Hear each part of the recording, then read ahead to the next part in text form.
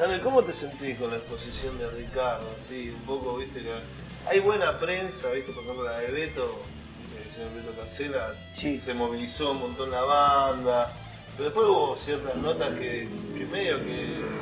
Faltó una nota de Fina, Claro, viste que hay gente que como que lo utilizó Ricardo para otra cosa. ¿Vos, vos cómo estando dentro de la banda? ¿Qué, ¿No te da ganas de, no sé, de agarrar a esos periodistas o, o encerrarte más todavía? ¿Qué?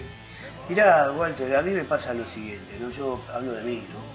Eh, yo si la prensa no me convoca, es como que no, no le doy bola, ¿me entendés? Porque para mí la- las cosas se, se escuchan en vivo y las cosas quedan, que yo. César me dice una vez, sacaste un disco, bueno, en mi pasa a mí en mi programa, me entero porque era el programa de él, no somos contacto, ¿no? Eh, fuimos y bueno, se habló de eso de ahí. Yo ahora, a partir de ahí, no sé qué repercusión puede tomar eso o qué, o qué puede llegar a pasar. Con el caso de Ricardo es, este, yo estoy acostumbrado a verlo a él, no tanto por la prensa, Claro, sino de que eh, yo estoy más con él, el contacto mío con él es más, eh, más, más amigote, ¿entendés? más de estar en el camarín.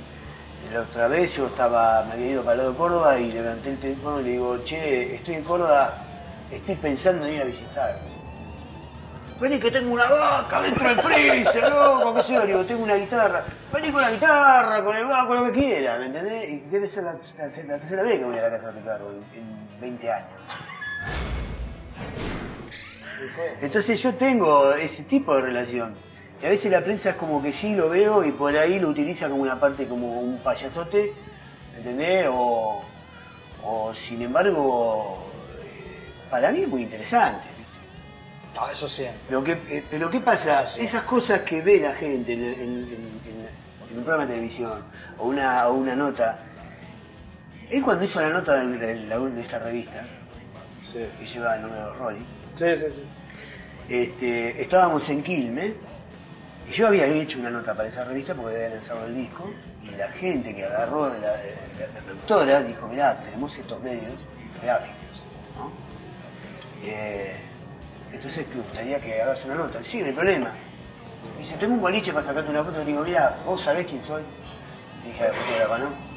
Sí, a vos te parece que tengo cara de boliche, loco.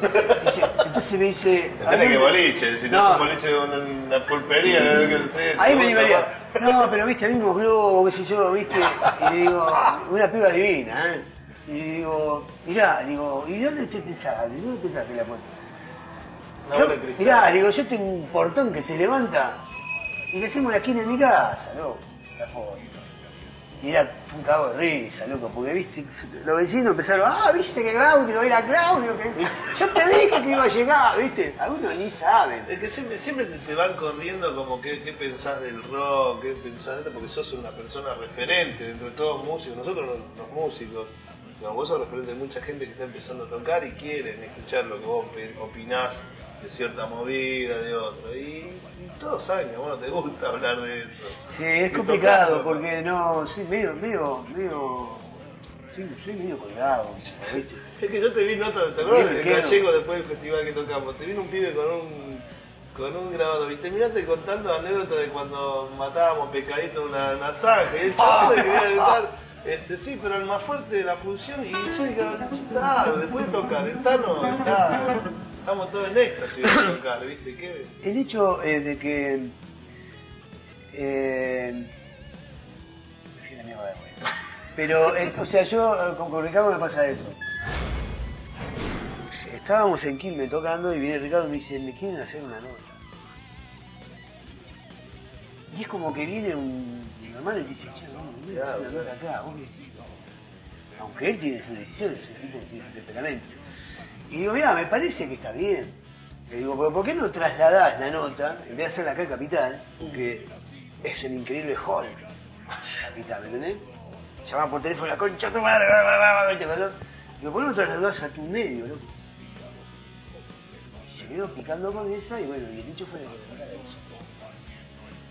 Y salió siendo un número muy vendido y salió Una foto, buena nota. ¿Entendés? Entonces, eh, esa, esa es la, la relación. Es, no sé si llamar, si decirlo, cuidarnos entre nosotros, pero existe Sí, todavía, es eh, existe una, una, una afinidad. Una hermandad. Y sí, porque nosotros disfrutamos lo que hacemos y nos gusta la música que hacemos.